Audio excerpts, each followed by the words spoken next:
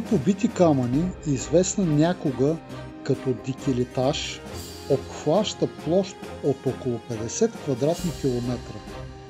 Разположена е между землищата на град Долослав и селата Слънчево, Страшимирово и Баново. По цялата територия има каменни колони. Някои от тях се издигат величествено, а други са разхвърлени по земята, все едно са повалени от ураган.